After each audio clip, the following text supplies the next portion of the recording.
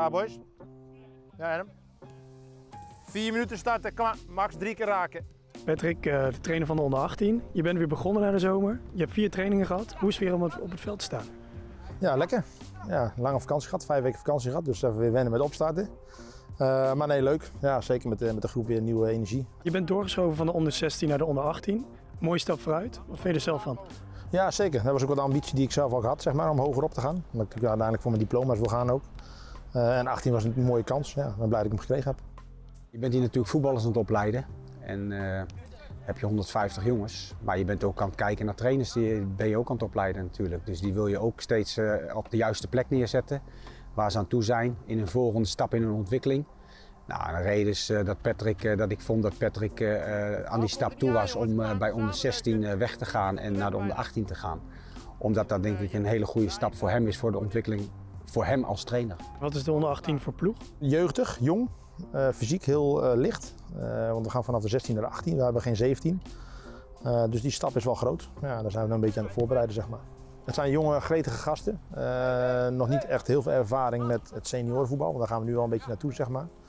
het is al heel speels. Ja, en dat zie je op de training ook vaak wel een beetje terug, zeg maar. maar ja, dat gaat er langzaam uit. Daar komen ze vanzelf achter, want we spelen gelijk al tegen Utrecht de eerste wedstrijd. Ja, die hebben gewoon een 18-elftal met dispensatie jongens. Dus dat is echt een beetje de mannen tegen de ja, kleinere jongens, zeg maar. Dus ik ben benieuwd hoe we daarvoor staan. En hoe ga je daarop voorbereiden?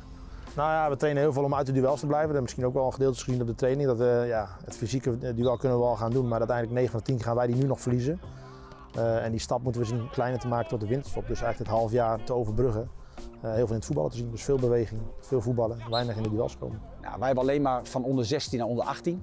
Dus dat betekent een grote selectie. Ja, en dat betekent ook dat daar nog wel heel veel verschil zit in zo'n selectie. Jongens die net uit de onder 16 komen en jongens die al voor dat tweede jaar uh, in die onder 18 zitten. Dus daar zit wel een groot verschil in. Ja, dus daar heb je als trainer heb je daar wel. Uh, we hebben ook twee assistenten bij Patrick lopen. Dus op die grote groep hebben we ook drie trainers lopen. Dus je moet kijken van, uh, je wil natuurlijk resultaat boeken, op, direct vandaag. Maar je wil ook zorgen dat die eerstejaarsspelers snel zich aanpassen aan dat tweedejaarsniveau. Dus uh, dat zijn verschillende dingen in, in zo'n groep die spelen. Ja, en dat vraagt wel wat van een trainer. Vaak zie je na de winterstop dat die eerstejaars uh, het veel beter gaan doen. Uh, dat ze die stap al kunnen maken. Maar het eerste half jaar zie je wel vaak dat dat een probleem is. En ik zou ook heel graag in de toekomst een onder 17 elftal bij Vitesse willen hebben. Zodat dat geleidelijker gaat dat doorschuiven. Wat ben je voor trainer? energiek, direct. ja, en ik hou van aanvallend voetbal met heel veel energie. Dus uh, ja, vol gas eigenlijk. Ik denk dat het belangrijk in mijn speelstijl, uh, wat ik wil spelen met mijn elftal en met de teams die ik getraind heb, ook wel dat je fit moet zijn. Uh, ja, en ik vind core stability, kracht. Ja, we hebben natuurlijk ook Hennis erbij gezien die ook een stukje gedaan heeft. Die hebben we natuurlijk in huis. Ja, dat zijn experts waar de jongens echt verder mee komen. En ik vind het zelf ook heel interessant om dat te geven. Dus ja, zeker heel belangrijk in mijn trainingsopbouw. Langzaam weer laten zakken, niet laten vallen. Hou je spanning, draaien we gelijk door. Pakken we de andere kant.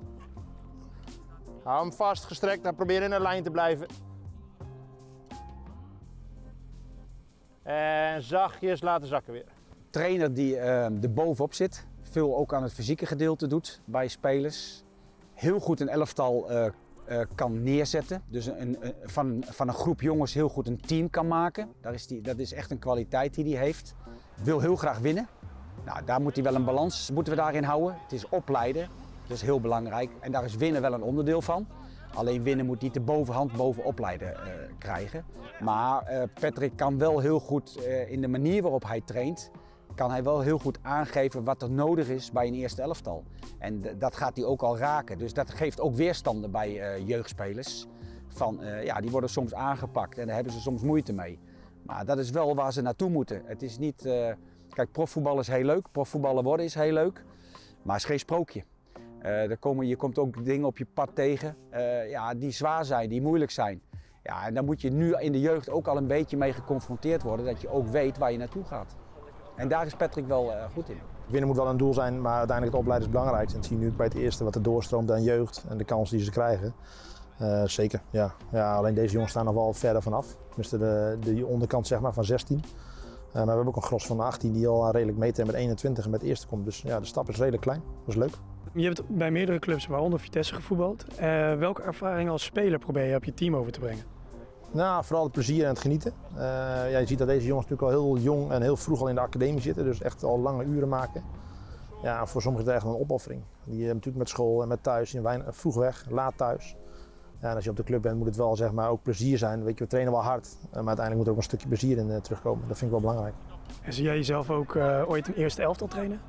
Ja, zeker. Ja, dat ambieer ik nu nog niet. Ik uh, ambieer wel om mijn diploma te halen. Dus de ervaringsjaren bij 18 zijn heel belangrijk nu, de komende twee jaar.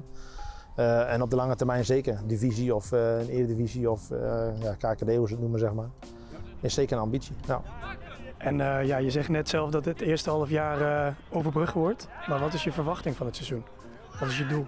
Nou, het doel is dat wij in ieder geval met de elftal op het hoogste niveau willen spelen. niet ten koste van alles, denk ik. Uh, maar het belangrijkste is dat wij in ieder geval het gat met zeg maar, de leeftijdsverschillen en de fysieke voorwaarden ja, kleiner maken. Ja, daar hebben we gewoon een bepaalde periode voor nodig. Uh, we willen uiteindelijk uit deze klasse naar de hoogste. We willen natuurlijk Ajax, PSV, Feyenoord, AZ spelen. Maar ja, dat wordt een aardige opgave nog. Maar daar zijn wel de doelen die we ons gesteld hebben.